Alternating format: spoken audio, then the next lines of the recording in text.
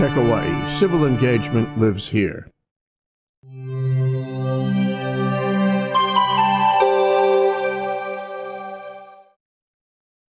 Hey, aloha everybody, and welcome back to the ThinkTech Studios. This is Security Matters Hawaii. I'm your host, Andrew the Security Guy, and I'm here today with Ed Howard. It's come in town from Castle out there in Waimanalo, on Waimanalo side. And uh, we're going to be talking today about uh, the healthcare environment. We're going to be talking about safety and security in a healthcare setting. And uh, Ed, you've been in security a long time, so I always like to start my guests by asking them, what keeps you up at night lately? Lately. Well, because I'm in the healthcare field, obviously that's a concern of mine. Uh, you know, I do oversee 20 hospitals in the Adventist Health System, mm. so I get. Um, you know, I get alerts probably every hour of some violent issue that's oh. happening across our 20 hospitals, and and sometimes I, you know, I just lay awake and wondering wonder, you know, what's what's the next big thing that might happen, you know, that. So you so. actually do stay awake at night. sometimes I do, and sometimes I get those calls, you know, Ouch. in the middle of the night as well. Sure. So, yeah. wow. So, give our audience a little sense of. I know you've, you've had a long, a long, history in security. Give us, uh, if you give your background, if you could, kind of leading up to sure. uh, what you do today. well, I've had a, a, very distinguished and honorable career in law enforcement for 26 years. Um, I was first uh, 10 years with the Honolulu Police Department and I worked in uh, narcotics uh, eight out of those 10 years, and I was also on a DEA task force for several years. And then I moved over to the state narcotics, and I ran the investigative and enforcement operations for some 16 years, and I retired after 26 years. Wow. So I had a great, great career. Wow. Yeah. Fly around helicopters here looking for the crops and stuff. I remember. did, did some of that. Yeah, sure. yeah. Wow. Sure. Right yeah. on. Right on. And then so, you and so when you transitioned into the public sector, how, how was that for you? So it's a that's a one retirement wasn't enough. You thought you'd go get another one? well, I, yeah. I mean, we have we have a great retirement uh, situation for law enforcement officers here in Hawaii, okay. and I knew I was going to be retiring at an early early age. Mm-hmm. Actually, it was 46 when I was uh, uh, available to retire. So, kind of being that visionary person, I, I knew I wanted to get into another uh, career, so to speak. And um, it just so happens I I was uh, I became the security director at the Castle Medical Center. Okay. So I started off uh, a whole new um, career in security and in the healthcare uh, specialty, so to speak. Setting sure. I, I, I, you know, coming out of law enforcement, which is a very difficult job, and then moving into healthcare, uh, another difficult environment. I don't know if people understand how uh, you know how how many uh, you know it's highly regulated. There's a lot going on in that in a healthcare setting. Uh, what, what, what was your your first uh, you know your your, your early uh, sort of opinion like you know walking in because you didn't you don't have the badge and, and, and, the gun and the, the sort of the control that you kind of have as a law enforcement officer but you have a lot of the same responsibilities in that particular environment. Right. Well i mean you hit it right on the on the head. It was a a, a very big transition for me and it was a very conscientious decision that i had to make very early on on whether I could actually handle the transition. Oh. Um, a whole different mindset. I was coming in. Uh, people who did bad things in the hospital, I still viewed initially as criminals. Sure. And um, I didn't realize that there were so much mental health issues, mm. true mental health issues, uh, rather than what I would see all the time would be substance abuse and that type of thing. Mm. And uh, just the whole environment was. Um, was was very different. So I, I really did have to make a excuse me a con- conscious conscious decision to change my mindset and and to look at people as as patients and and be able to manage situations a whole lot different than the way we're trained in law enforcement. Wow. And did do you think the law enforcement training did that in, inform your ability to work there? I mean, did you have to have a training program? Was what was it like when you first started at Castle? I mean, you know, how, how did folks deal with the situations that arose there?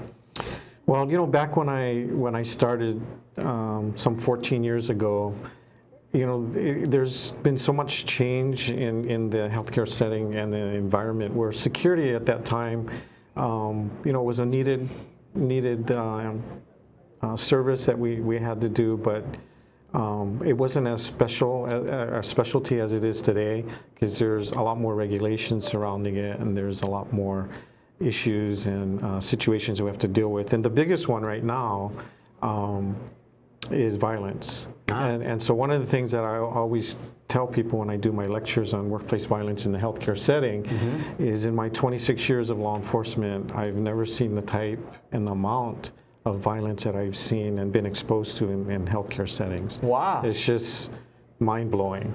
Wow. And um, I also compare it to in law enforcement, particularly what I did in narcotics enforcement. You know, we're well equipped, we're well trained, we can anticipate and plan for violence, but in, in our healthcare settings where our security and our staff work, uh, a lot of times it's very unexpected or very Oh. dynamic and very consistent. So um, it's if you ask physicians nowadays, what, nowadays what's the top five issues in, in healthcare, violence will always be one of the top five. now. Wow. Yeah. So we- I would expect him to say something about some disease or some treatment or something. Or but- insurance But, or violence, some- or insurance, yeah, sure. yeah, but right. violence is going to be on the top of that list. I know you did a talk recently at the, at the event we did over at the uh, um, Pacific Club, and uh, I, was amazed at the, the depth. You know, you don't think uh, necessarily that, you know, I, if I go to a hospital, fortunately, I don't have to go very often, maybe for my physical or whatever annually, but um, you don't think about violence when when I go there. I think of calmness. I think of a helping and caring, nurturing environment, and yet you're getting you're seeing episodes of fairly consistent um, violence. Is that typical to Castle? You think, or is this typical of the of the industry itself in Hawaii nationally? Oh, it's it's nas- it's national trends. Uh, you know, when we talk about trends, I'll, I'll give you a really good example. When you when you've got regulatory agencies, like for the healthcare, uh, it's it's the Joint Commission, it's Centers for Medicaid, Medicare Services, CMS, and uh, OSHA. Okay. When you have these regulatory bodies telling you that you have identified risks of violence in, in the healthcare setting and you need to mitigate those risks, uh, you've got regulatory agencies not telling you you have a problem. Um, that's kind of unheard of. Mm, run right. So it's it's a trend um, that we've seen when you've got regulatory agencies telling you you have a problem and you need to deal with it. It's eye-opening. So it's uh, the other thing I, I tell people too is you know there's so many associations and uh, professional organizations out there that uh, surround healthcare, and every one of those agencies or organizations, associations, have got some kind of uh, white paper, some kind of training program, you know, some kind of assessment uh, program or process, all just for violence in Wow. healthcare. So you look at those kind of trends. Um, you know, it's here to stay. I think it's, or at least it's very consistent. The statistics that we gather across um, uh, annually across our 20 hospitals, you know, we we have seen in the last three years that that uh, workplace violence relating directly to patients and visitors and family members um, are all consistent and, and upwards in trends. Isn't that something you? It amazed me, I, and I I remember from your talk that you know that you get violence, violent action. Are you watching for violent action just from the family of a patient who may be concerned about the, the level of treatment or the type of treatment? Is this have people do you think lost a little respect for the industry, or I mean, are they just emotion carries them away, or? Yeah, you know, it's it's it's really been interesting. I've dived into um, this this this whole issue of workplace violence in the healthcare setting, and you know, we we look at um, a bunch of risk factors that we have absolutely no control over that come into our healthcare setting. For example, it can be gang activity. We have a hospital in Los Angeles with a huge gang uh, presence, 51 gangs in a two-mile radius of Oh. the hospital.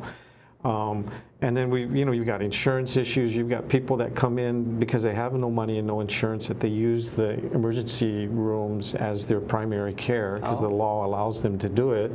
So these are, you know, like, and I can go on and on with risk factors, but these are risk factors that we have no control over. And then we've got a bunch of internal risk factors that we do have control over, and that's where we talk about patient satisfaction. We talk about um, you know how we how we do treat our patients, and do we communicate with them well? Uh, do we offer them uh, the pain management that they need? You know, all of these different things uh, really do come into play and, and has an impact on the way people act and behave. So uh, trying to balance all of that is, is, is kind of crucial. It's more than a one-man job. Yeah, um, yeah. Do uh, how, what kind of um, staff training? How, I guess uh, let me ask: How often, um, you know, this, is your staff getting trained? You know, an awareness program. I think because it's easy to slip into being the caregiver, which is what most people I would think enter that industry for, and to let your guard down. Maybe is there a is there a persistent awareness program about the the, the, the violence thing? Yeah, absolutely. And as a matter of fact, um, you know, there's there's landmark legislation with California OSHA right now. Is is the only state right now that has mandated a bunch of standards for workplace violence in healthcare.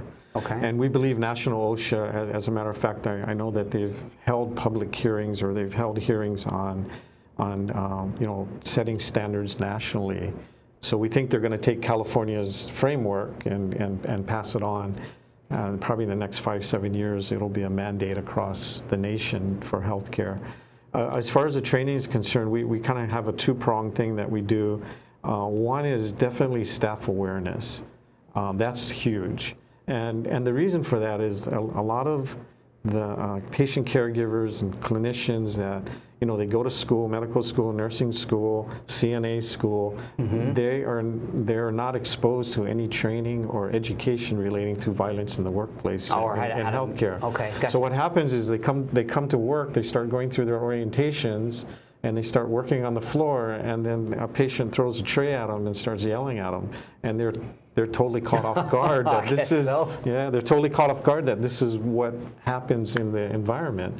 So it's up to us um, at each of our sites, and this happens across the nation, um, that we we expose them to all the risk factors that contribute to violence, and we talk to them about you know the things that we can do and the teamwork that we do with security because there are things that we have to do to help manage. So the big phrase for us in healthcare is managing aggressive behavior. Okay. And there's processes, there's training, um, there's teamwork that all have to sync together.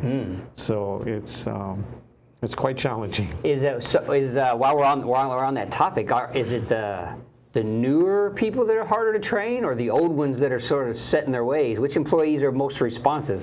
That's a good point you bring up. That's a good point because you know during our training, what we have found is the old-time physicians, the, the nurses that have been around for 30 years, um, they're accustomed to this being a part of the, their job. Oh, like it's normal to have a tray thrown at you. Right, and we've actually Wow. we actually have heard comments and statements like, "Oh, you know, this is what we deal with. This is this this is our job. This is, you know," Wow. and we have to change that thinking. I think so. So basically, what happens is, you know, people who work in the healthcare uh, industry that are patient caregivers and clinicians, you know, they go in with really good ideas of we're going to help people and this is what I've chosen to do and and um, they, they just don't see it coming sometimes. So we, we really need we really do educate them. We get them to understand. And as a matter of fact, um, just to add this in, which is really interesting, is with the whole Obamacare, you know, everything now is patient satisfaction, is how we get paid. Our Sure. reimbursements are based off of patient satisfaction. So the better patient satisfaction scores we get, the more we'll get we'll get the reimbursements. Um, but we've also realized that if you if you do satisfy that patient satisfaction situation, you're also going to also address violence at the same time. So there's a lot of strategies out there. There's a lot of consulting companies out there that have all these strategies to boost patient satisfaction. Okay.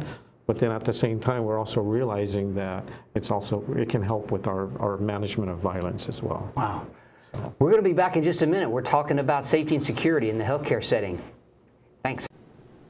Hi, I'm Bill Sharp, host of Asian Review here on Think Tech Hawaii. Join me every Monday afternoon from 5 to 5:30 Hawaii Standard Time for an insightful discussion of contemporary Asian affairs. There's so much to discuss, and the guests that we have are very, very well informed. Just think, we have the upcoming negotiation between uh, President Trump and Kim Jong Un. The possibility of Xi Jinping, the leader of China, remaining in power forever. We'll see you then. Hello, I'm Dave Stevens, host of the Cyber Underground. This is where we discuss everything that relates to computers that's just going to scare you out of your mind. So come join us every week here on thinktechhawaii.com, 1 p.m. on Friday afternoons. And then you can go see all our episodes on YouTube. Just look up the Cyber Underground on YouTube. All our shows will show up. And please follow us. We're always giving you current, relevant information to protect you, keeping you safe. Aloha. Hey, welcome back to the Think Tech Studios. We're here on Security Matters with Ed Howard today, and we're talking about safety and security in a healthcare setting. Uh, Ed, we were talking uh, just a little bit about, you brought up the, the JCAHO scores and the patient satisfaction scores and how hospitals get reimbursed. Uh, and that's a self-reported by the patient sort of thing. But you're seeing that one of the byproducts of that is if you drive up patient satisfaction, there's maybe less violence, you know, at least from the patients, maybe I don't know about the their families and things like that. That's, it amazed me when I learned that they're getting violently angry, you know, in a hospital. Right. But no, that's um, abs- it's absolutely true. Um, we've seen it in studies, and we've I, have seen it with my own experience. Wow. So so when that patient satisfaction is is driven at a high level. Uh, and and it's ba it's basic stuff a lot of times too. It's proper communication mm -hmm. and explanations even introducing yourself, mm. you know, doing things like that to keep uh, patients informed, not uh, overpromising and under-delivering. Mm. Um, it, it keeps people calm. Family members are unique because they want the best service for their family member, sure. right? I, I don't think that's, uh, you know, anything different than you or I and, sure. and our son or daughter or husband wife in the hospital so it's kind of human nature stuff yeah so it's it's you know simple concepts and principles but sometimes not always be able to carry out um, the last thing a, a family member uh, realizes or cares, so to speak, is this nurse has got five other patients, right? Mm. So it's it's challenging to, mm. to kind of keep that balance, right? Wow. The uh, are the uh, do you have it often where they because medical terminology, you know, things aren't aren't familiar to people who maybe be in the hospital for the first time, for example, with a uh, either for themselves. Do people have a hard time comprehending, even though you've told them? Do you, do you watch their face just not absorb the information and then they just get frustrated? Or yeah, yeah, sometimes that happens. But you know, we've got a, a, a lot of really good nurses and uh, physicians out there that do take the time to explain, and that's the key. If they have the time, they can make the time to explain. Mm. Another interesting thing really is, you know, a lot of people hold physicians as almost godlike. Sure, and, especially when you're uh, the one hurting. yeah, and, and you know, when they have that interaction with them, and there's specific training and and stuff on this, um, but when they have that interaction with a physician and, it, and it's negative mm. or it's uncaring, you know, that can spike uh, reactions from family members and patients. Mm. So I think physicians have come a long way when it comes to interacting with patients. Mm. So that's, that's big and that has driven up um, you know, at least for Adventist Health and, and Adventist Castle, it has driven up our patient satisfaction scores with the way our physicians are uh, interacting with patients. Hmm. And do you, uh, they have to get close, uh, I guess maybe as well as the nursing staff. Uh, you mentioned, you know, uh, mental illness and you mentioned some of the behaviors associated with those things. I'm sure you see uh, folks that are, are having problems with drugs maybe that come in. How do you, how do they give care and, and also take care of themselves? What's the, do you, do you give some hands-on training for that, or I mean, how you know, because they've got to get really close, and you know, right. once you're close enough to grab a hold of, that's a that's a no. Problem. So so good points. Um, um, yeah, we do um, we do provide certific, uh, certification relating to management of aggressive behavior training. Oh, okay. So that's not only recognizing the the behaviors, but it's also hands-on defensive tactics and movements ah. that you can do. I mean, that's a must. We have to train everybody to do that. Sure. Um, so, you know, we get what we call high-risk patients, and high-risk patients are basically your emergency department, your behavioral health patients. These are patients that, you know, uh, have the most potential to be violent. So we, we look at them differently and, uh, as far as safety and security is concerned. Okay. We treat them differently. There's processes in place uh, to ensure that uh, we're as safe as possible. So there's a lot of things that, that, that go into this. Mm -hmm. all, all yeah. Trying to do all that without them knowing that you're doing all this around them, that, right? That's true Obviously trying to create that, that, that right. a, caring environment nonetheless, but a right. safe environment. Right. Very difficult stuff. So you're um, you're big in uh, uh, IAHSS is a, is a strong group out here. I think you've got 40, 50, maybe more members than that. I know so I've been to some of the meetings. That's a large group. Um, what's the focus? Does it, do folks go there to get training as well? It's the um, Uh, what, what, what kind of, what, uh, what sort of, um, I guess, um, services do the members, you know, get by being, being part of IHSS in Hawaii? So IHSS stands for International Association for Healthcare Security and Safety. It's a um, national, international organization, and it's uh, specifically for healthcare security, safety, emergency preparedness um, professionals. And we have a chapter here in Hawaii, which I'm, I'm the chapter chairman of. Okay. And uh, yeah, we have about 40 plus uh, members, all from the various hospitals and other healthcare uh, providers. And um, you know, we get together for meetings, and we do provide training. Uh, a lot of networking and sharing because a policy that works at Queens Medical Center can very well work at, you know, Ah. Pali Momi, and so we have that tight networking where we where we can communicate with one another, and then then just a lot of blasts of information Hmm. out there that I, I, I happen to get uh, quite a bit of nationally as well. So Okay. it kind of keeps us all in the know. Good deal. So it's a it's a great organization, and again, it's very very specific to to what we do in healthcare. Is are there um, like like the FAA has like a no-fly list? Do you have? Uh, are there people that everyone knows if they show up in your ER, they're a problem? Is, is there that sort of? Because it's a small enough community in Hawaii, I would think. Yeah. No, to be honest with you, we don't share that type of information specifically Oh, because there are Probably, some federal yeah. privacy rules right. Would be a surrounding that. I didn't think of that. Um, so yeah, we don't really have a database or anything that we that we share on stuff like that. Um, but we we do we do know what the risks are, and we, we talk about that quite a bit. And, and and it's always interesting to know how like triple Tripler Medical Center deals with their physical environment Okay. and and how others do. You know, so we do talk about those kind of things. We share about those things and. And I will say that one, one of the important things that we, we use to help mitigate our risks our security systems. Security systems are big for us. So, you know, your access control and your CCTV cameras, video surveillance, our infant protect, uh, protection systems, our duress alarms, Mm-hmm. our emergency communications and phones, mass communication. So we use all of these Mm-hmm. a lot of technology in a A lot of technology as well as, uh, again, can't overemphasize the processes that we have to put in place to, to, to manage certain situations in patients. Wow. And is um, so is IHSS also beneficial? Uh, I'm, I'm sure that some of that's evolving. You know, as you talk about, we didn't used to get graded by the Fed to get reimbursement. Now you're graded for patient care. Have you seen that impact? Is it changed, or, or is there more frequent training or better training? What's your what's your take on, on the industry and its uh, you know where it's going in the future? No, it's it's there's definitely more awareness for sure, and training. And when you have the regulatory agencies now really looking at, if you if you want to call it on an isolated topic, looking at workplace violence a lot more closely than they did five, six, seven years ago.